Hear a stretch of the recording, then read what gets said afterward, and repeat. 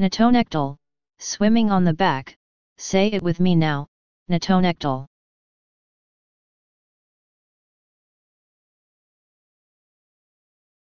Please subscribe and thanks for watching.